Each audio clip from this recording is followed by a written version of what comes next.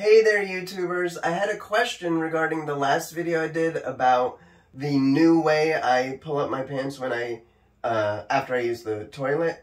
And it was a valid question because I didn't explain why I do it the way I do it. Somebody said, hey, why don't you just get on your bed? And the whole point of that video was that uh, that was to show what I do when I don't either don't have any room to get like like if my bed is not there, if I'm out in public somewhere and I don't have room to pull up my pants on the floor or the floor is dirty, but when I'm home or if I'm in a large public bathroom that seems relatively clean, I'll do something like this.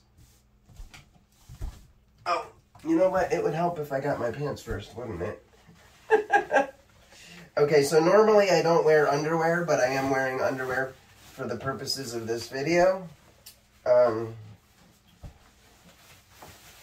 so here we go.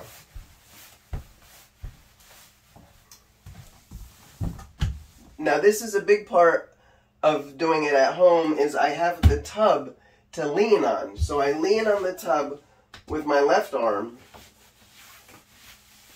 and then put pull up my pants with my right arm. And this way, I'm not putting any pressure on my wrist here. Um, and it really, really works out well. Um, it's also why I try...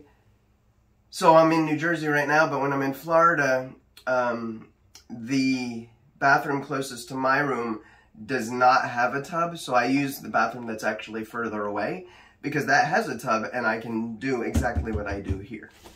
Uh, thanks for watching. See you again next time.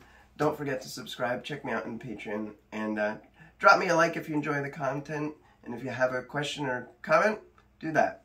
Thanks.